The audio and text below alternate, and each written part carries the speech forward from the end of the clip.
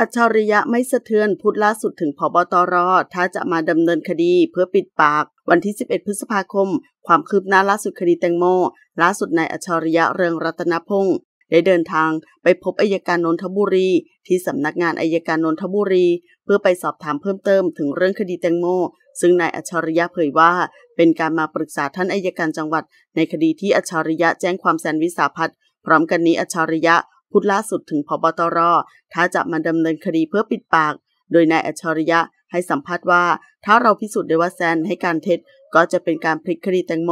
ทั้งนี้ได้นัดพนักงานสอบสวนตำรวจภูธรภาคหนึ่งในวันที่ 17 พฤษภาคมนี้ ในเรื่องหลักฐานชิ้นสำคัญนั้น ก็คือการที่แตงโม ไม่ได้ตกท้ายเรือ ที่ตำรวจบอกว่าตกท้ายเรือนั้นไม่เป็นความจริง คดีก็ต้องเริ่มใหม่ ด้านหลักฐานต่างๆ ก็ได้รวบรวมเอาไว้แล้ว การออกมาเคลื่อนไหวในครั้งนี้ เพื่อตามหาความจริงทำทุกวิถีทางที่เราทำได้ อย่าลืมว่าผมไม่มีอำนาจทำได้แค่รวบรวมหลักฐาน ส่งให้พนักงานสอบสวนรวบรวม และส่งให้อายการพิจารณา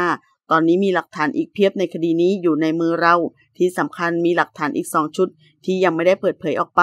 ซึ่งแนวความคิดมันไม่ตรงกัน ระหว่างตำรวจกับตนเอง ถ้าตำรวจจะมาดำเนินคดีผม ผมก็พร้อมอยู่แล้ว ยันจะเปิดหลักฐานอีกสองชุดให้ประชาชนดูก่อน แต่ยังไม่ขอระบุวันเวลาแน่ชัด เรื่องหลักฐานใหม่นั้นเบื้องต้น จะมีทรายตัวอย่างที่เก็บมาแล้ว และเจ้านักประดาน้ำติดกล้อง ลงไปในน้ำดูจุดตก ดูทรายใต้น้ำผู้สื่อข่าวถามว่า ผู้สื่อข่าวถามถึงเรื่องที่ตำรวจจะถอดเทปการแถลงข่าวของนายอัจฉริยะ แล้วจะมีการดำเนินคดี ซึ่งอัจฉริยะฝากถึงพบตรถ้ายิ่งทำกับผมแบบนี้ จะเป็นการตอกย้ำว่าสิ่งที่ผมพูดคือความจริง แล้วก็จะมาดำเนินคดีกับผม เพื่อที่จะปิดปาก ซึ่งผมเฉยๆนะ ไม่เคยกังวลเลย ผมพูดอะไรผิดอะซึ่งผมโดนยัดข้อหาเมื่อสิบปีที่แล้ว เราจะเหนื่อยเมื่อสู้กับอำนาจรัฐที่ไม่เป็นธรรม กลัวอย่างเดียว คือจะใช้อำนาจรัฐกดขี่ข่มเหง มีกฎหมายในมือ มีปืนอยู่ข้างเอว จะมายัดข้อหาผม ขอขอบคุณข้อมูลจากทีนิวส์ขอบคุณค่ะ